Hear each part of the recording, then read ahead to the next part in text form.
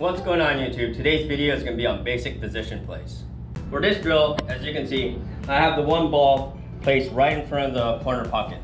The way we set this up, it's going to be a, about a ball's width from the edge of the pocket itself, and you're going to have your object ball close to it.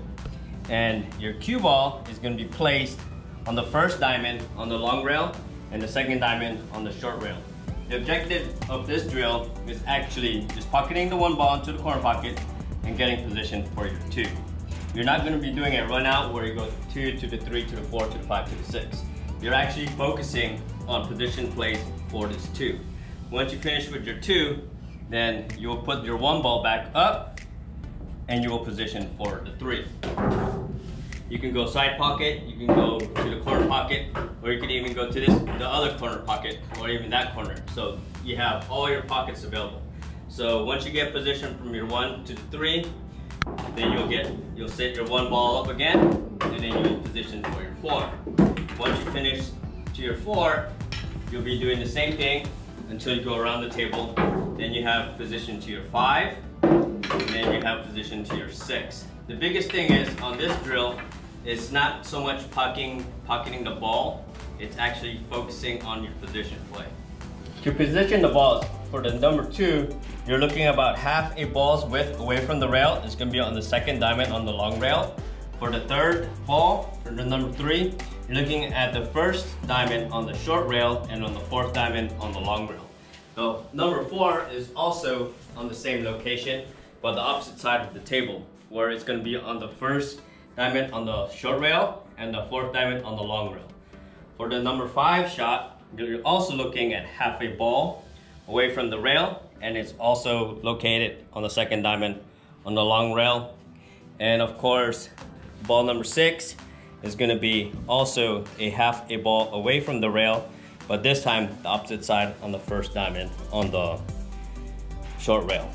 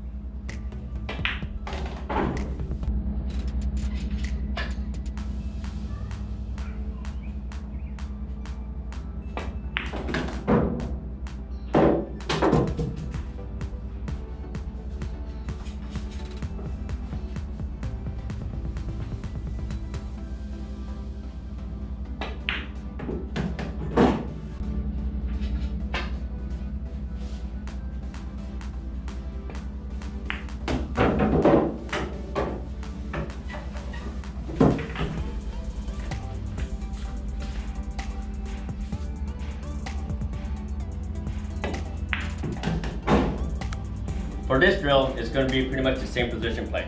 The only difference is, is the cue ball is located now at the second diamond on the long rail and the second diamond on the short rail. The first, the one ball, again, is going to be a ball's width away from the pocket. And you're going to go around, again, this time, you can cheat the pocket and try to get position to the two and then make the two ball into the corner pocket. The three can go into any six of the pockets.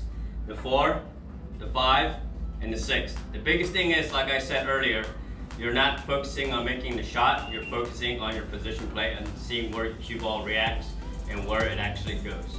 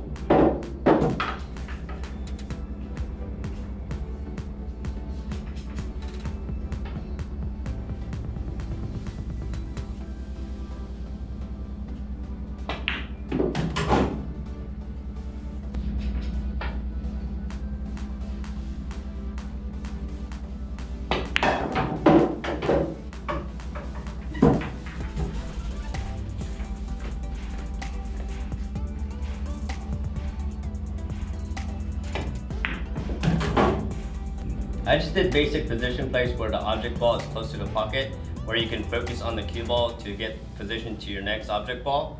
But I hope this video was informative. Stay tuned, we're gonna be doing more position plays where we can actually go around the whole table.